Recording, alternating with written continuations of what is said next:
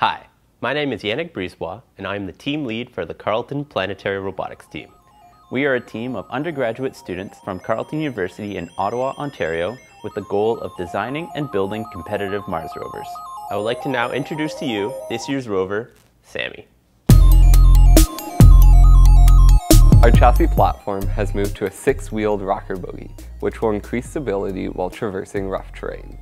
The rocker bogie is constructed using COTS rectangular carbon fiber tubing and milled aluminum hubs, with the two legs connected using a transfer bar.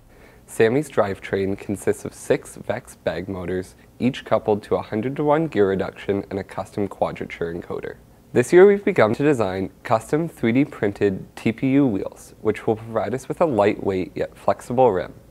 This will be combined with a TPE tread, which will provide traction over a simulated Mars environment. The electronics are separated into two modular boxes. The electronics box, which houses all of our computation, motor control, power distribution, regulation, and telemetry sensors. The battery box houses our batteries, emergency stop system, relay, and trunk power fuse. The electronics box is designed with a standardized 5cm by 5cm grid and cutouts to allow for easy repairs, rearrangements, and expansion of electronics inside. Custom PCBs interface with any commercial electronics and feature status LEDs for fast identification of electrical issues. H6 is powered with last year's 24 volt 30 amp hour battery with a brand new emergency stop system. This new e-stop is equipped with undervoltage lockout and a deadman switch for faster and safer rover recovery during testing. We've also integrated a bypass for the deadman switch for competition time. These changes make H6 CPRT's safest, most reliable rover to date. We will be using a 900 MHz omnidirectional antenna based on last year's design due to its success at last year's competition. This year, the system has been optimized by using better suited antennas. With the 900 MHz link, we will be able to talk through large terrain, such as hills and rocks, that would normally interfere with a higher frequency signal.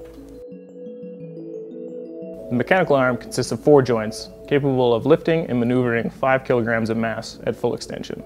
The motors are connected to harmonic or strain wave gears, allowing for a high torque output as well as minimal backlash. The 4 degrees of freedom of the mechanical arm, coupled with the 2 degrees of freedom of the end effector, will allow us to use inverse kinematics, which will be vital for tasks that require high precision such as typing or using a screwdriver. This year's end effector was designed with precision in mind. The custom gearing system was machined of aluminum stock for a compact yet strong design. The end effector has 180 degree pitch control as well as 360 degree continuous rotation. The grippers of the end effector have been 3D printed of a special carbon fiber filament for its high strength and low mass properties. Last year, we used OpenCV to detect and avoid obstacles, as well as locating the tennis ball. This seemed to work in a lab environment, but failed to adapt to the unpredictable nature of the real world. This year, we plan to use a neural network as an end-to-end -end solution. This will allow us to generalize safe driving conditions, as well as how to avoid hazards. As a safety measure, we have built a secondary system to analyze the ground plane ahead of the rover. Knowing the size of our rover, we can determine if any patch of ground is large enough to fit on, vetoing any decisions by the neural network if necessary. We are also using deep learning to locate the tennis ball using the YOLO algorithm. This will allow us to generalize what a tennis ball looks like, allowing us to deal with different color backgrounds, debris on the tennis ball, or even if the tennis ball is partially obstructed. For the science mission, we have built a Raman spectrometer to detect the presence of carotenoids, pigments that are widely considered to be strong indicators of life.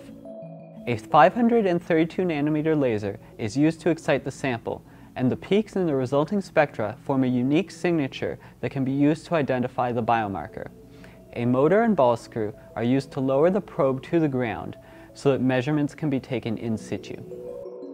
As the weather starts to get a bit warmer in Ottawa, we're thrilled to be moving out of our build phase and into our mission planning and operator training.